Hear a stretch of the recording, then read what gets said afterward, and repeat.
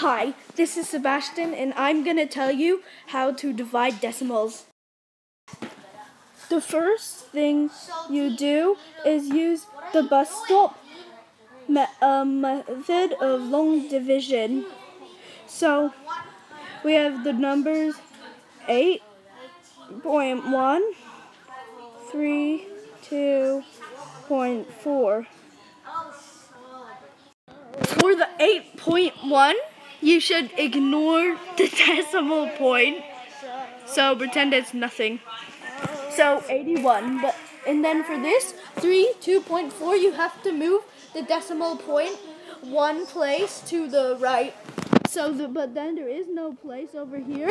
So it will just be 324. How much times does 81 go into 324? Four times. So we got our answer.